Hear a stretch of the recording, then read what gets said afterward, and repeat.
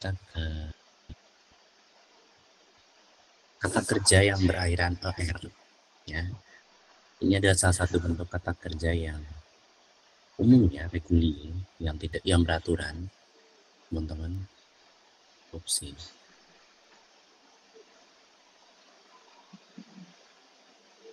nah jadi biasanya kata kerja er itu gimana sih untuk mengkonjugasinya dan oh, sorry dan bagaimana caranya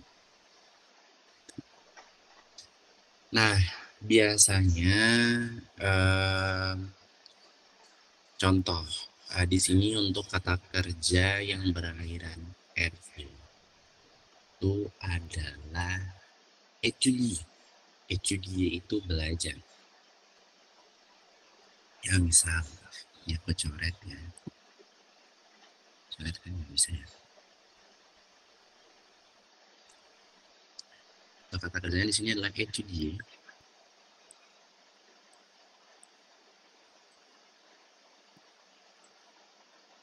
Nah, contohnya di sini, sorry.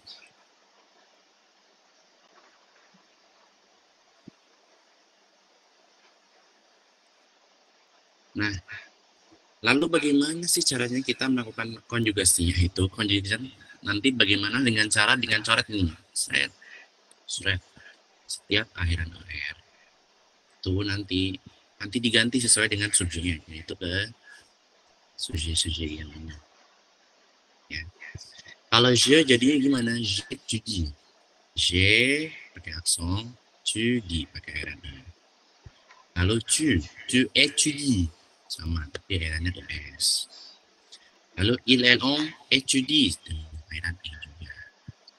untuk nous nous étudions vous, vous étudiez, airannya EZ.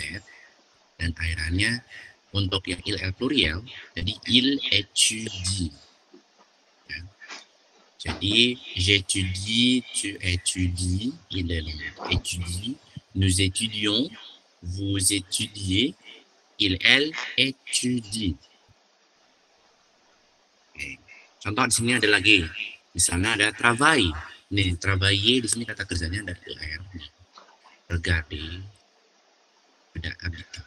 Jadi kalau untuk étudier belajar, travailler itu bekerja, regarder itu bisa lihat, bisa nonton dalam teks. Habiter itu tinggal. Ya. Tinggal dalam suatu tempat dalam waktu yang lama itu biasanya habiter. Kalau misalnya uh, dat kayak misalnya uh, tinggal tapi dalam waktu kayak sebentar bisa benar gitu. ini yang artinya datang oke okay.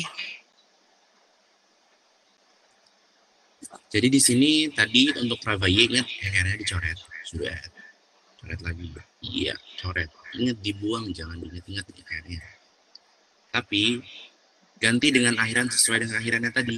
Je travaille tu travailles il elle travaille, travaillons, vous travaillez, il, elle travaille.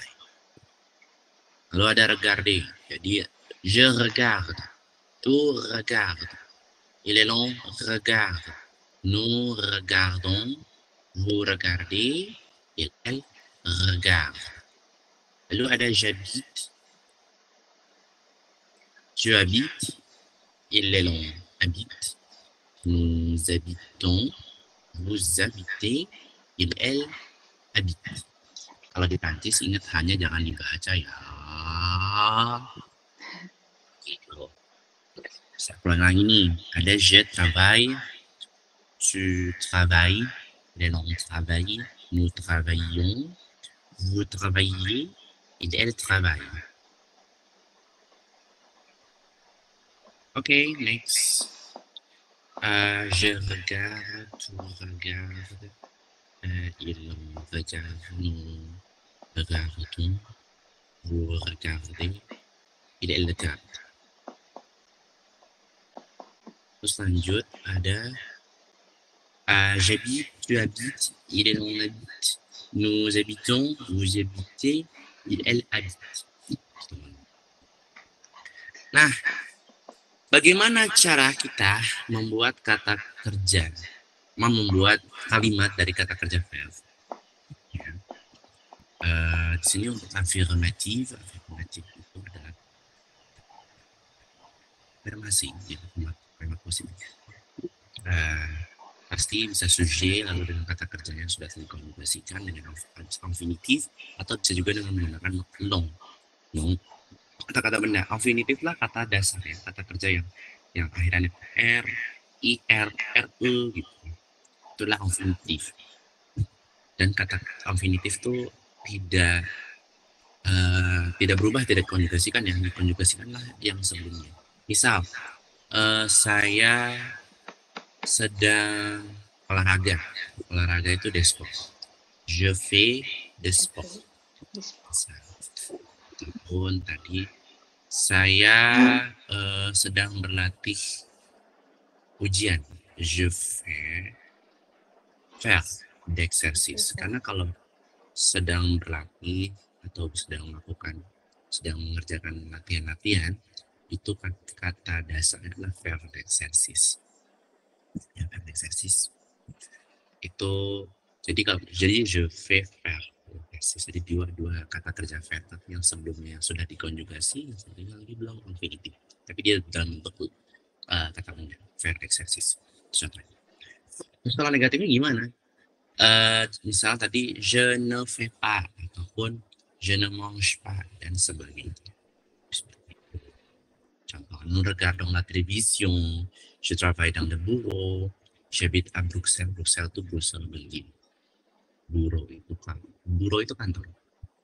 Televisi atau tele itu adalah ya televisi.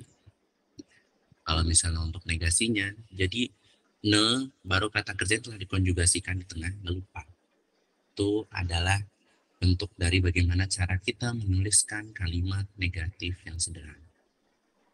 Karena masih banyak kalimat negatif lain sebenarnya. Cuman kalau secara umum seperti itu oke kita lanjut bagaimana uh, mengenai artikel ya yang soal